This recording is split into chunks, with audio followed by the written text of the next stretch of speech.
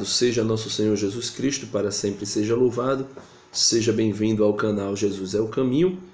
E hoje eu quero trazer um vídeo sobre três características de um católico autêntico, um católico verdadeiro.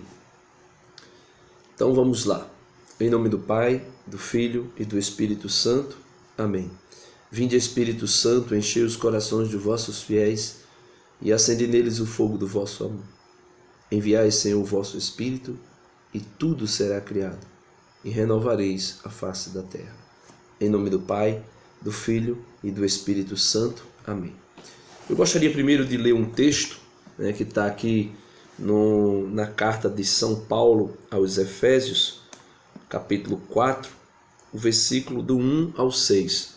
O apóstolo Paulo diz assim: é uma exortação ele diz: Exorto-vos, pois, eu, o prisioneiro no Senhor, a andardes de modo digno da vocação a que fostes chamados, com toda humildade e mansidão, com longanimidade, suport...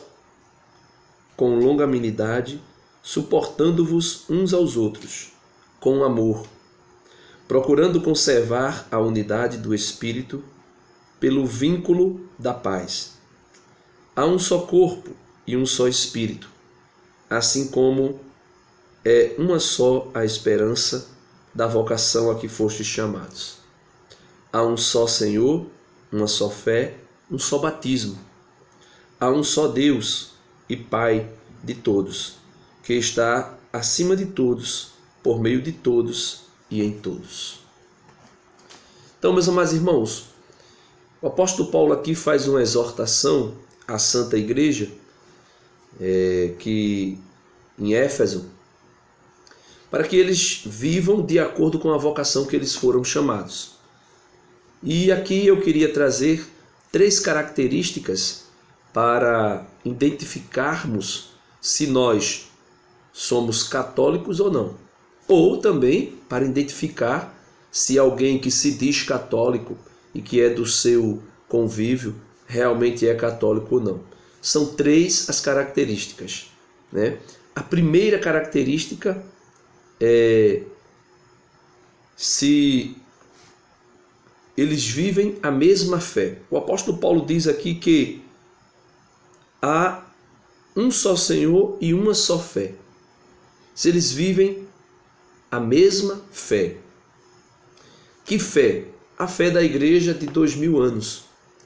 Não é essa fé relativista de acordo com a conveniência de cada um, mas a fé é a mesma fé da igreja de dois mil anos. Desculpa aí. É, porque para conhecermos um católico, se realmente, se de fato ele é católico, nós precisamos é, ver o que é que ele critica e o que é que ele defende.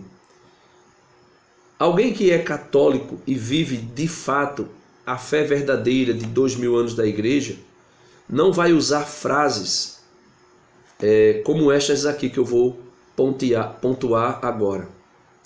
A seguinte, por exemplo: Eu sou católico, mas eu não concordo com procissão. Ou eu sou católico, mas eu não creio na intercessão dos santos. Ah, eu sou católico, mas eu acredito que Jesus teve irmãos e que Maria teve outros filhos. É, eu sou católico, mas é, eu acho que o, os padres deveriam casar. Então, isso são frases que demonstram que esta pessoa, ela de fato não é católica. Porque quando a pessoa é católico e tem uma fé que é a mesma fé da igreja de dois mil anos, ele não fica com essa questão de que eu sou católico mais. Não. Se você é católico, você crê em tudo que ensina a Santa Mãe Igreja, Tudo aquilo que a igreja crê e tudo aquilo que ela ensina, você crê. Simples assim, né? É uma questão aqui de humildade, é uma questão aqui de obediência. E obediência a quem? A nosso Senhor Jesus Cristo. A outra questão é os sacramentos. Alguém só pode dizer que é católico se vivencia, se vive, se é, estar é, disposto a receber os sacramentos da igreja que lhe for proposto. São sete os sacramentos. Por exemplo, é, quando houve aquele grande cisma em 1517, aproximadamente aí século final do século é, 15, início do século 16, é, Martim Lutero ele esvaziou a economia sacramental. São sete os sacramentos. Martim Lutero ficou com apenas o sacramento do batismo e assim o sacramento do matrimônio, mas muito esvaziado, né? sem ser de fato aquilo que é sacramento da igreja.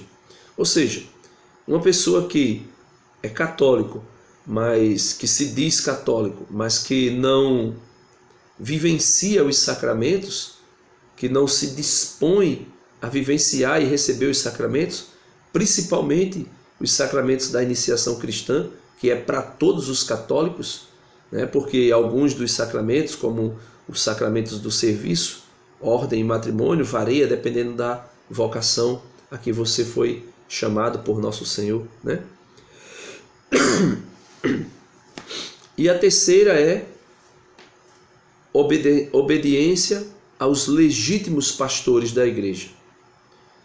Ou seja, meu amado irmão, se você é católico, se você crê né, piamente que você é católico e você se identifica como tal, mas você não obedece aos legítimos pastores, ou seja, você não aceita, por exemplo, é, a autoridade do Papa Francisco, é, que tem muita gente aí na igreja dizendo que é, a igreja está é, é, sem Papa porque não aceita o Papa Francisco, porque não. Isso é característica de quem não é católico. Estou me recuperando aí de uma de uma gripe e uma tossezinha alérgica e peço desculpa a vocês de estar tossindo aqui no vídeo, mas faz parte, né?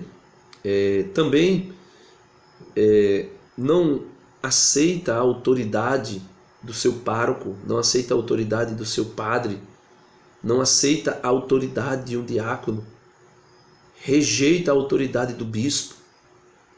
Essas são três características basilar para sabermos se nós somos católicos, se nós fazemos parte da única e verdadeira igreja de nosso Senhor Jesus Cristo, ou se nós dizemos que somos católicos, quando na verdade nós não somos. A primeira é a mesma fé, crer em tudo que crê e ensina a Santa Mãe Igreja. A segunda é vivenciar e estar aberto a receber os sacramentos que a vocação do Senhor para nós nos chamar a recebermos. E a terceira é estar em comunhão com os legítimos pastores. Veja que aqui se diz legítimos pastores. Não são os santos pastores, não são qualquer pastor, mas os que são legítimos pastores, ou seja, aqueles que vêm de uma sucessão apostólica. Por isso, meus amados irmãos, o apóstolo Paulo, escrevendo aos Gálatas, pede uma unidade na fé.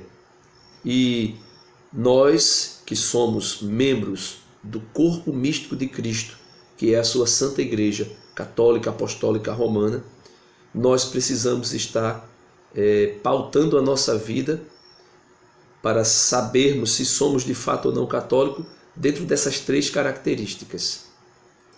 Amém. Fique na paz. Deus abençoe e reflita sobre esses pontos que eu coloquei. Louvado seja nosso Senhor Jesus Cristo, para sempre seja louvado. Se você gostou do vídeo, dá uma curtida. Se você ainda não faz parte é, da família Jesus é o Caminho, esse canal católico, se inscreva aqui no canal, compartilhe os vídeos e vamos ajudar a evangelizar. Fica na paz, Deus abençoe.